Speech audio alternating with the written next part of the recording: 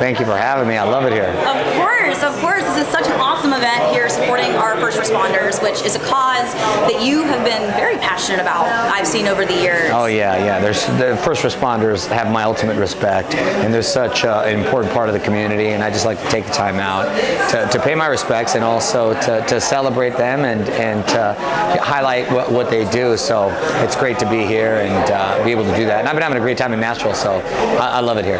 So I know that you experienced your first tornado watch a few Yeah. weeks ago. You're It's the only thing in about. Nashville. I love the people, I love the food and the music. Y'all got some wacky weather. It was uh, literally like 75 degrees, then it was snowing. Now it's nice again. There was a tornado watch. That's the only thing that's kind of tripping me out a little bit. I bet. I bet almost needed some first responders that day. Yeah, I exactly, bet. Oh my goodness. exactly. So, so you're here in the area filming for a Christmas film for Lifetime. Correct.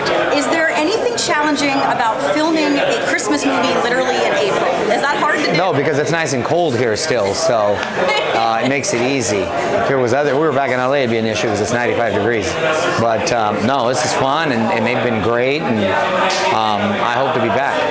What kind of festive clues can you give us about this movie that you're working on? Can you have any hits? It's a musical. There's a musical, a lot of dancing. It's romantic, and it's um, in the Christmas spirit. Incredible. Well, speaking of dancing, a Nashville staple, going to the honky tonks, going to the music venues, Yep. the dance pro here. Are you going to be stepping on the dance floor and showing them how it's done? I'll get some line dancing going on. I, I'm, I'm gonna try to hit a spot after this. There you go. Have some chicken, hot chicken in good. Nashville. and Go dancing. Sounds good. Perfect. Mario, thank you for being here and supporting our first responders. We appreciate it. Thank you for having me.